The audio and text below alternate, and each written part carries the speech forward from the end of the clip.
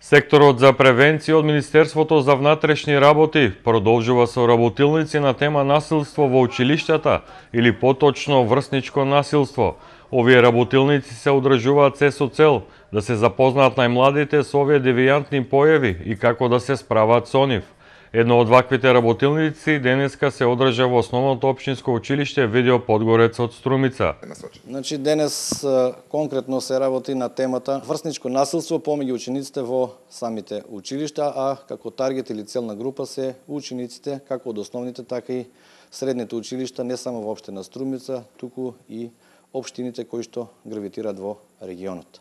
Цел на овие активности се пред се да се подигне свеста кај самите ученици околу откривање на лицата со насилничко однесување, превенирање, односно спречување на таквите девијантни појави и благовремено известување како на стручните служби во училиштата, така и на нивните родители секако на полицијата како орган за спречување на појава на такви девијантни појави.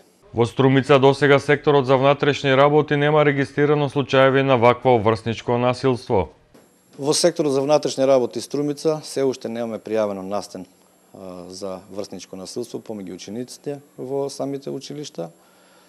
Но доколку има пријавено таков настан, значи од наша страна ќе бидат преземени сите соодветни законски мерки, секако во соработка со самите училишта и центрите за социјални работи за превенирање, односно спречување на таквите појави и презимање на соодветни законски мерки против сторителите на, на самото насилничко однесување. Ваквите работилници наидуваат на голем интерес кај учениците. Од секторот за внатрешни работи се задоволни со овие работилници, бидејќи учениците активно се вклучуваат и поставуваат доста интересни прашања на ваквите теми.